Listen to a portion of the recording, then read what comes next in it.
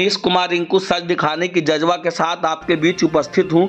यदि आपने अभी तक हमारे चैनल सच की आवाज़ को सब्सक्राइब नहीं किया है तो पहले सब्सक्राइब कर बेल आइकन दबा लें, ताकि समय के साथ आप तक हमारी खबरें पहुँच सके। आइए खबरों पर डालते हैं एक नज़र। अपने हक और अधिकार के लिए एकजुट हुए बर्नवाल समाज।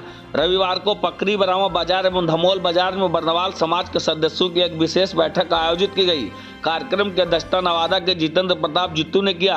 इस दौरान कार्यक्रम में शामिल भारत वर्षीय बर्नवाल वैश्य महासभा के प्रदेश अध्यक्ष राजू कुमार प्रसाद, उर्फ़ राजू बर्नवाल ने कहा कि राजनीति में भागीदारी के लिए बर्नवाल समाज के लोगों को एकजुट होना ज़रूरी है। उन्होंने कहा कि जातीय जनगणना में उनके साथ छल हुआ है। उनकी आबादी बहुत ज़्यादा होने के बाद भी सरकार द्वारा उसे कम दिखाया गया है। उनकी जातीय गणना फिर से करवाने एवं बर्नवाल जाति को ओबीसी में शामिल करने को लेकर 20 अक्टूबर एवं 29 दिसंबर को पटना में होने वाले महासभा को सफल बनाने का आह्वान किया गया है। उन्होंने यह भी कहा कि बिहार के मुख्यमंत्री नीतीश कुमार एवं देश के प्रधानमंत्री नरेंद्र मोदी बर्नवाल समाज के लोगों को अपना वोट बैंक समझ रहे हैं। तभी बर्नवाल समाज के लोगों के साथ अन्याय हो रहा है। बर्नवाल समाज को अपने राज्य से लेकर देश भर में कोई राजनीतिक अधिकार नहीं है। इसलिए आगामी चुनाव में अपने अधिकार के लिए बर्नवाल समाज उस पार्टी को अपना समर्थन देगी।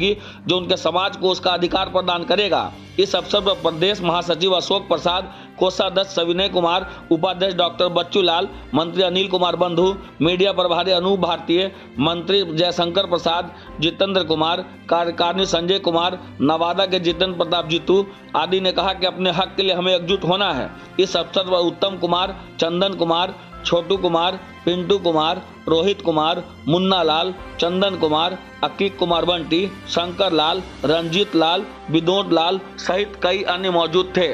सुनिए क्या कहते हैं बर्नवाल समाज के प्रदेश अध्यक्ष। आज के आने का मुख्य उद्देश्य क्या है? नहीं आज का मुख्य उद्देश्य नहीं है बल्कि हम पूरे बिहार का दौरा कर रहे हैं। और पूरे बिहार में हमारे बर्नवाल परिवार के पंद्रह लोग लोग रहते हैं। हम गणना भी कराएँगे। और पंद्रह लोग आबादी जो हमारे पंद्रह लाख लोग हैं और उनको शून्यता के साथ में जोड़ दिया गया है। और शून्यता है कि 21 जातियों के साथ में हमारा कोड बनाया गया है और 21 जातियों को मिलाने के बाद में आबादी, कुल आबादी 30 लाख लोगों की दिखाई गई है। 15 लाख लोग हम हैं। अगर कोड वाइज कोई देखेगा तो एक लाख पैंतालीस, छियालीस हज़ार हमारा आबादी है। जबकि एक लाख पैंतालीस हज़ार आबादी हम जिस नवादा में हैं, एक लाख चालीस हज़ार आबादी सिर्फ़ नवादा चौदह प्रखंड में है। नवादा और चौदह प्रखंड मिला कर करके एक लाख चालीस हज़ार लोग यहाँ रहते हैं। और उसके बाद एक लाख चालीस हज़ार लोगों की आबादी बनाई गई है, दिखाई गई है, जो शर्मनाक है। हम पूरे बिहार का दौरा कर रहे हैं। पूरे बिहार में हमारा ओबीसी का मांग था। बिहार में ओबीसी का सर्टिफिकेट बनाई जा रही थी सरकार के द्वारा, लेकिन अभी ईडब्ल्यूएस में डाला गया है। ईडब्ल्यूएस इकोनॉमिक वीकर सेक्शन में, जो आर्थिक रूप से कमज़ोर वर्ग के लोग हैं, उनको बनाए उनके लिए बनाई जाती है। कोई भी हमारे परिवार के लोग जो ठेला चलाने वाले, सब्ज़ी बेचने वाले, जो लास्ट पायदान में रहने वाले जो लोग थे, जो विकास के किरण के लिए टकटकी नज़र लगाए बैठे थे, उनका भी ईडब्ल्यूएस का सर्टिफिकेट नहीं बनाया जा रहा इस बैठक के माध्यम से बर्नवाल समाज के लोगों को आप क्या संदेश देना चाहते हैं? बिल्कुल। एक सूत्र में एक सूत्र में जब तक आप नहीं बंधोगे आप एक सूत्र में बंधने के बाद में जो हमारा पुष्प है जो हमारा पल्वित और पुष्पित पुष्प है उस पुष्प को एक धागे के अंदर डाल करके किसी के गले के हार जब तक नहीं आप बनेंगे।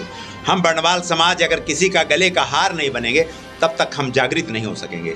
हम सभी को एक सूत्र में ला कर करके एक रास्ते पे चलाने के लिए एक सूत्र में पिरोने के लिए मेरा कार्यक्रम चल रहा है। सरकार से आप बर्नवाल समाज के लिए क्या डिमांड करना चाहते हैं? दो चीज़। एक राजनीति में भागीदारी और दूसरा ओबीसी।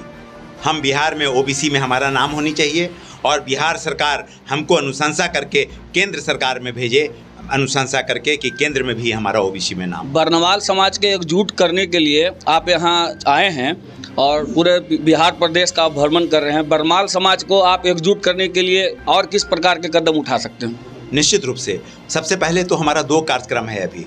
एक कार्यक्रम है महाधरना दूसरा कार्यक्रम है पचास हज़ार लोगों को हम मिलर हाई स्कूल में पटना पाटलिपुत्रा के धरती पे बुला रहे हैं। दूसरा कार्यक्रम में अगर सरकार ने हमारे साथ वार्ता करने का प्रयास नहीं किया, काम नहीं किया, हम बंधुआ मजदूर नहीं हैं आपका, कि हम 1947 में भारत आज़ाद हुआ, उस आज़ादी के बाद हमें किसी एक दल का बंधुआ मजदूर बनकर के रह गए कि वोट हम आपको देते रहेंगे। अब हमारे पार्टी, हमारे समाज के लोगों को, हमारे बैस समाज के लोगों को जो टिकट देगा, कोई भी दल हो उसके साथ में हमारा समाज चलने का काम करेगा उसको वोट देने का काम करेगा।